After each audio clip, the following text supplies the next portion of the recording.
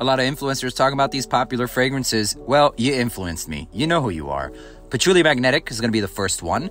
This one smells pretty different. I actually kind of enjoyed this. You definitely got to like patchouli, hence the name patchouli. But it's got some fruits and resins, a thick, earthy fragrance. Not bad. Not the first one I'd go with. Hibiscus, this fragrance, yeah, it's actually really good.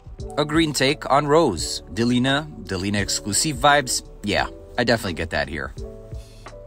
Ambre Chromatique. This is not going to be for the masses. Quite unique. An opening of pink pepper and incense. Definitely a unique fragrance with a little bit of an abrasive opening. Not the worst thing in the world. And more recently, the most popular of them all, the Oud Maracuja. This smells like or reminds me of Ombre Nomade if there were a little bit more fruits. It's more of a twist, but definitely in the same family. Not freaking bad.